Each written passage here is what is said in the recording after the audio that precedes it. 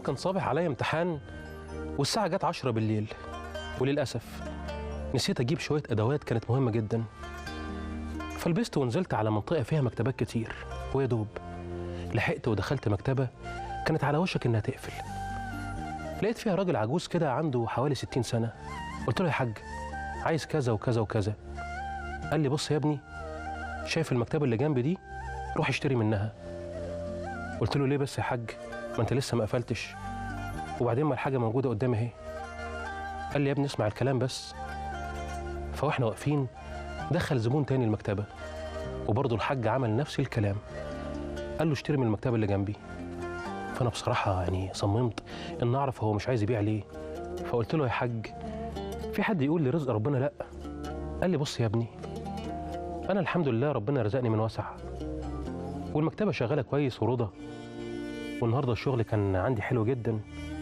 ووطى صوته وقال لي بس المكتبة اللي جنب دي حالها واقف بقاله فترة وصاحبتها ست كبيرة وطيبة مخلفة تلات بنات بتجهزهم وأنا ربنا كرمني النهاردة. فليه ما ينوبهاش من الحب جانب يعني؟ وطالما مربوحة ومرضية ما المليان يكب على الفاضي. يكون عندنا شوية نظر ودم. ما تعملناش الفلوس ولا المكسب عن الناس. وطالما طلعنا كلنا كسبانين فإيه المانع؟ بصراحة أنا اتسمرت في مكاني. معقول في ناس لسه بالشهامة دي.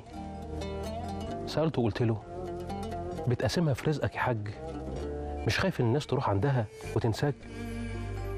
رد عليا كده بضحكة جميلة وقال لي بقسمها في رزقي إيه يا ابني؟ هو الرزق ده بإيدينا علشان نقسمه؟ ده ربك هو مقسم الأرزاق. شوف كم مكتبة في نفس المكان وجنب بعض. وكلنا بنكسب وكلنا بنتراضى. وديك شايف. الباب جنب الباب. تفتكر حد يقدر يحوز زبون من عند حد ربنا كاتبه له؟ وطبطب على كتفي كده وقال لي روح يا ابني هات حاجتك من هناك. وادعي لها دعوة حلوة في سرك. واعرف دايما إن مساعدتك لغيرك هي طريق سعادتك. واوعى في يوم اوعى. تبقى عايز تكوش على كل حاجة. طالما ربنا كرمك وبإيدك تسيب لغيرك سيب بنفس راضية. هتتجازى والله. هتتجازى بأضعاف مضاعفة. بصراحة يا جماعة أنا مشيت اليوم ده وأنا مذهول. لكن اتعلمت حتة درس ما اتعلمتوش في المدارس. اتعلمت إن الشطارة في الدنيا مش إن ناخد من إيد غير الحاجة. اتعلمت إن أزودها له لو أنا اكتفيت. وإننا كلنا موجودين في الدنيا دي لنجدة بعض. وإن التجارة ليها قلب وليها دين. وليها إنسانية. واللي قالوا إن التجارة ملهاش قلب غلطانين ما فهموش الدنيا ولا فهموا معنى إن الإنسان في خدمة أخوه الإنسان. وطالما ربنا موسعها علينا ليه بس نضايقها على غيرنا؟ استنونا بعد الفاصل.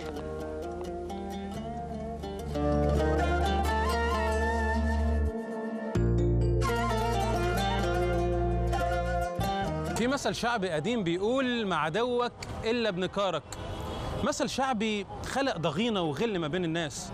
ليه عدوي؟ يبقى بنكاري ده حتى النبي وصى على سبع جار. تعالوا نشوف رأي الناس في الشارع عامل إزاي. يلا بينا.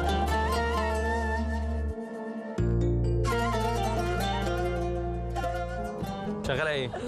دكتور استشاري امراض جلديه وتجميل وليزر طيب حلو الكلام ده. في مثل شعبي بيقول جنبك آه، ناس دكاترة زيك في نفس المهنة؟ أكيد طبعا. طب في مثل شعبي بيقول مع عدوك إلا بنكارك آه عارفة المثل ده طبعا. آه، طبعا عارفاه. أنا تعالي نتناقش فيه. يعني أنا وجهة نظر إن المثل ده خلق كده ضغينة وكره ما بين الناس وبعضها اللي شغالين في نفس المجال. وتخيلوا إن الراجل اللي جنبي ده اللي فاتح نفس شغلانتي هياخد رزقي. طبعا هو يعني هي الفكرة إن دي تبقى يعني نفسيات وثقافه شوية وتربية وسلوك لأن كل واحد معتقد إن حد آه، أنا يعني الأرزاق متقسمة بالظبط كل واحد واخد حقه 100% فما. ينفعش إن حد يعني يعني أنا ممكن الدكتور فاتح جنبي بس هو ليه عيان وأنا ليه عياني ممكن يكون سابني أنا وراح له هو عشان ده رزقه هو أو العكس صحيح هي الفكرة فكرة قناعة بالرضا وإن كل واحد واخد رزقه 100% بس فده مهم قوي يعني الناس تقتنع بيها الناس مش مقتنعة بكده قوي يعني. يعني حضرتك مش مؤمنة بالمثل ده؟ آه لا الم- المثل ده موجود فعليا بس مش بنكارك بس هو آه هو جزء لأن زي ما بقول لحضرتك كده هي تشابه الم- المجالات. يعني مثلا أنا كمجالي أنا ناس كتير جدا زي فكل واحد بقى عايز يحصل على أعلى قيمة وأعلى وأحسن وأكتر ناس وأكتر عيانين وكلام من كده. أصل بس- أنا أنا لما قعدت فصصت المثل ده لقيت كلمة عدو دي كلمة ضخمة قوي. ما هي للأسف الموضوع مش ب... مش يعني هو ممكن يوصل إن هو ممكن يأذيك عشان خاطر يستحوذ على الشيء دوت. فعشان كده هو مين اللي بيأذي غير العدو؟ انت متخيله حضرتك فاتحه عياده وجالك أخبار ان الراجل اللي في الشقه اللي قدامك هيفتح عياده نفس تخصصك فمع عدوك اللي بنكرك فانا بقى هقعد بقى إيه فاهمة انت؟ لا أنا مع عمري أنا بالنسبة لي أنا ممكن بس يعني هقول لحضرتك هي ممكن الواحد يقلق مثلا إن يبقى في حد جنبه هيفتح في نفس مجاله بس ما يبقاش فيها أي نوع من أنواع الأذى أو إن مثلا آه، آه، آه، أروح مثلا اذيه بالعكس. أنا بارك له وأتمنى له الخير وكل حاجة بس أنا ممكن أنا أحب أشتغل على نفسي أكتر عشان كده يبقى في منافسة شريفة زي ما بيقولوا. شايفه إن فيها عدم ثقة؟ ثقة بالله يعني. لا خالص مش ثقة بالله لا المثل. آه، أو اللي يفكر بالشكل ده. حاجة هو الفكرة مش في كده هو ربنا لما خلقنا عارف عارف نفوسنا فهو ادانا حاجات دايما تصبرنا أو تقول لنا إنك أنت لازم تتعامل مع المواقف اللي بتحصل في الحياة وهتأذيك نفسيا إزاي. انت دايما لازم تستغل أبواب سعه الرزق هي إيه. يعني هو ربنا قال لك استغفر آه، صل رحمك آه، قوم التزم بصلاتك اعمل الحاجات دي كلها. الحاجات دي كلها بتهدي البني آدم نفسيا من جوه. في مثل شعبي بيقول مع عدوك إلا بنكارك بسمع عنه و90% صح. تاني واحد يقول لي 90% صح. بس هو المثل في حد ذاته حلو ولا وحش؟ أنا عارف إن المثل وحش. نتيجة من نتيجة خبرات كتير. هو وحش. عدوك يعني ما, ما فيش عدو بيني وبينك ولا بيني وبين صاحبي ولا ده النبي. وصى على سبع جار. بالظبط. ده اللي اتعلمناه واتربينا عليه. إن النبي وصى على سبع جار. والراجل اللي فتح جنبك ده جارك؟ وأرزاق. وأرزاق. وأرزاق بتاعت ربنا. بس بيبقى بقى يعني يعني أنا داخل لده اشتريت منه طالع بلفة التاني ما عندوش زبون فبيحط في نفسه ف ده بيعمل إيه عشان أنا يخش عنده يجي زبون تاني يخش عند التاني؟ فبتبقى المشكلة بينهم وبين بعض. نفسيات بعض الناس ما بقتش سوية. بص إحنا الحمد لله اللي في اللي إحنا فيه يا أستاذ محمد نقول الحمد لله الحمد لله. بس الحمد لله إحنا كل نفسنا نفسنا يبقى ما فيش المثل ده. ده زي ده زي ده وزي ده وربنا هو اللي يعني صاحب الأرزاق. أنا ساعات باجي أخش أسأل على حاجة في محل قال لي مش عندي. طب ألاقيها فين؟ قال لي شوف المحلين اللي بعد مني ثالث محل. وناس كتير. بتضلل. وناس كتير بتقول لك السكه الغلط. ده هنا ما فيش خالص. ويبقى في اللي جنبه المحل اللي جنبه. أخش أسأل بالصدفة يقول لي موجود. الحاجة اللي أنا عايزها طب ما أنا سائل اللي جنبك قال لي مش موجود في هنا خالص في المربع ده. يعني أنا عايز يعني عارف الناس تبقى قلوبها بيضة كده زي آه. حضرتك كده الله يعزك. والخير اللي بتعمله مع الناس. الله يكرمك. علشان كده بنقول ربنا يهدي الجميع وينظف قلوب العباد ويقربنا من ربنا. يا رب يا رب. في مثل شعبي بيقول مع عدوك إلا بنكارك ده يعني بنسبة 90% صحيح. عارف أنت الموضوع ده؟ صحيح؟ صحيح. يعني أنت لو فاتح مكان أو محل أو جالك زميلك في الشغل بيشتغل نفس وظيفتك الراجل ده أو اللي جاي لك ده تحول لعدو؟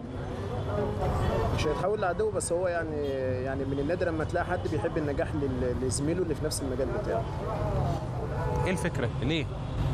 أنا تجربة شخصية أنا دلوقتي ب- ب- ب- بعمل آه، ورق لشركة خاصة بيا آه، كنت شغال في شركة لما جيت أمشي لا ما اللي صاحبها منتظر إن أنا لا ما أشتغلش إزاي شغال وإزاي مش قاعد في البيت يعني مش من عندي لا شغل رغم إن أنا دي الحمد لله خبرتي في المجال اللي أنا بدأت في الشغل ما اتغيرتوش نهائي. يعني شايف إن المثل الشعبي ده صحيح؟ ده صحيح يعني لو أقول لحضرتك بنسبة 90% بس أنا شايف وجهة نظري يعني إحنا بنتناقش إن هو خلق ضغينة ومشاكل ما بين الناس. طبعا. وبعدين كلمة عدو دي كلمة ضخمة وكبيرة ومفزعة. إن أنا فاتح محل وواحد فتح نفس المجال جنبي آه فيتحول لعدو وأتمنى له الشر والأذى. ما إحنا بنت- بنتمنى لأعدائنا كده. بنتمنى لأعدائنا بس اللي يعني لا- اللي- إحنا نتمنى لهم كده المفروض يكونوا مثلا آه، في غير الدين في حاجة آه، مماثلة. لكن طول ما إحنا المفروض في وطن واحد كلنا يبقى فيه الحب متبادل بين الناس ودي في الأول وفي الآخر بتبقى أرزاق. هتتعدل وأحوالك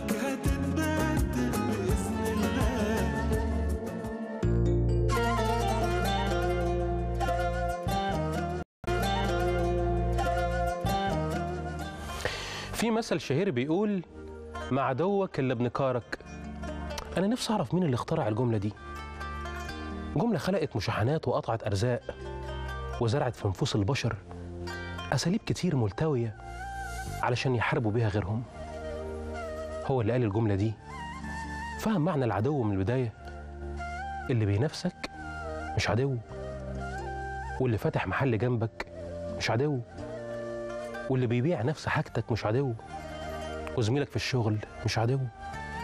واللي عايز يتعلم منك مش عدو. واللي بيسترزق معاك مش عدو.